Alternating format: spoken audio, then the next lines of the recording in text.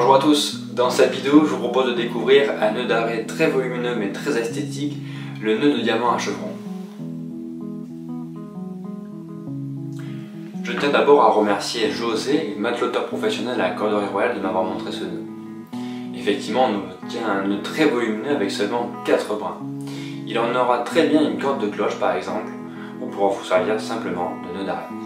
Alors avant de commencer le nouage, vous aurez euh, décommis un cordage à 4 taurons ou réuni 4 cordages entre eux.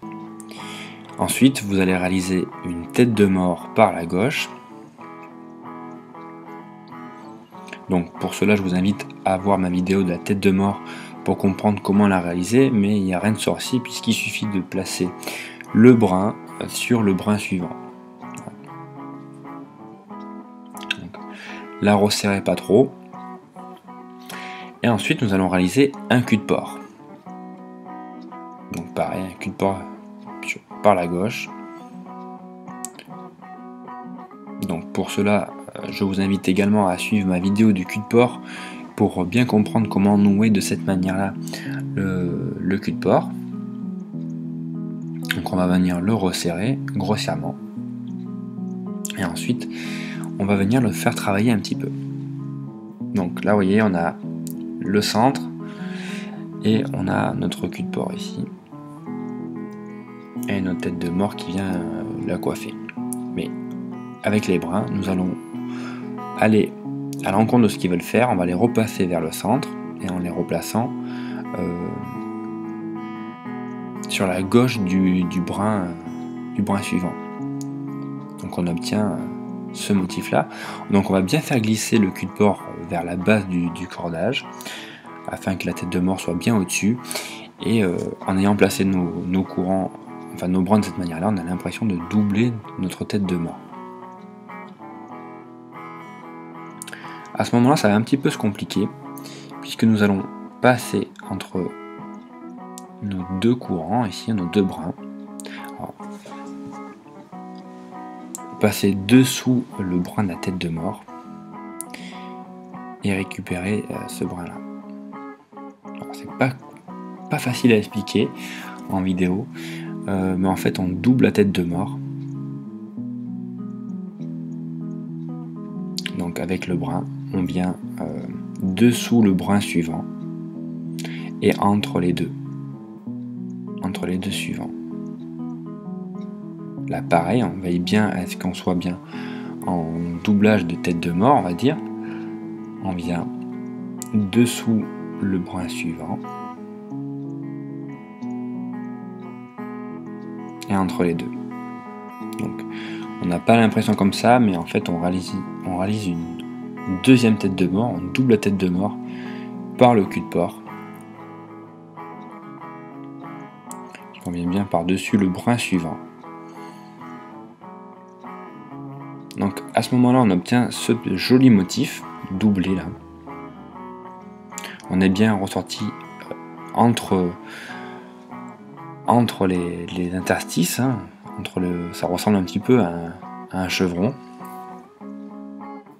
On est bien passé à l'intervalle régulier entre, entre les mailles de, ce nouage.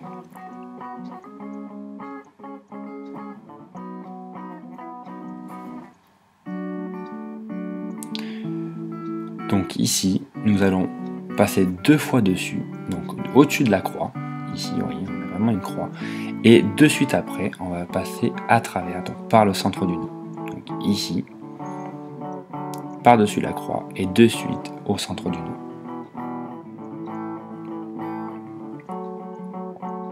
Là, pareil, on passe deux fois dessus. De suite, on va passer à travers le nœud par le centre et on vient terminer. Donc je remercie encore une fois José, membre de l'association IGKT France et mateloteur professionnel à la Corderie Royale de Rochefort, d'avoir eu la patience de m'expliquer ce nœud, car j'ai compris vite mais il a fallu m'expliquer longtemps. Et là pareil, on termine le quatrième brin. Alors comme le dit si bien José, euh, on obtient énormément de volume avec seulement 4 brins. Et c'est ce qui fait vraiment la beauté de ce nœud. d'avoir un, gros volume avec si peu de cordage et euh, cet aspect en chevron qui est vraiment magnifique. À ce moment-là, le nouage est terminé, il ne reste plus qu'à serrer. Donc là, il n'y a vraiment aucune difficulté particulière. Euh, allez-y progressivement. Prenez votre temps et euh, donnez-lui un, visuel euh, correct.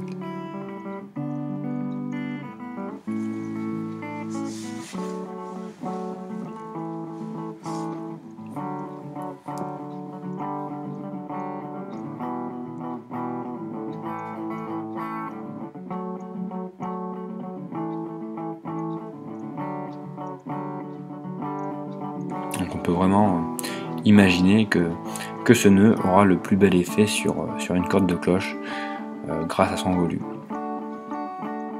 Et à son, son tressage.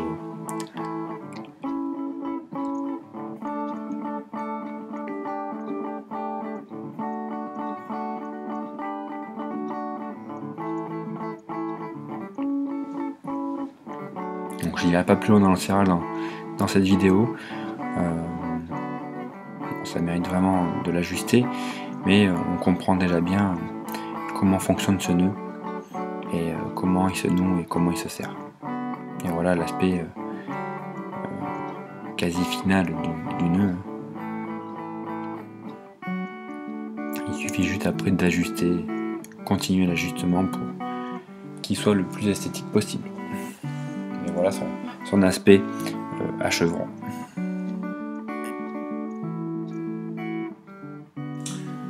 Vous remercie d'avoir suivi cette vidéo et tout de suite je vous invite à en suivre deux autres pour approfondir vos connaissances en matelotage. Si vous avez une question ou une remarque, surtout n'hésitez pas à la laisser en commentaire ou sur ma page Facebook. Je vous invite également à vous abonner à ma chaîne et je vous dis à très bientôt pour apprendre de nouveaux numéros.